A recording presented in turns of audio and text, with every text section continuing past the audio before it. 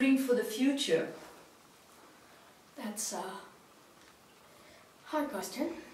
Um, I think my green dream, well, I have more than one, but um, one of mine is to um, have the entire world um, complete, like no, no, like it, like it was in the Roman times, but more evolved.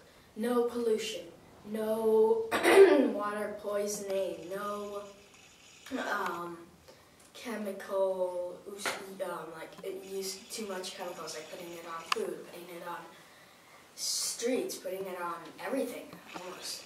Um, more, more like connected with nature and with ourselves and with the world, kind of thing.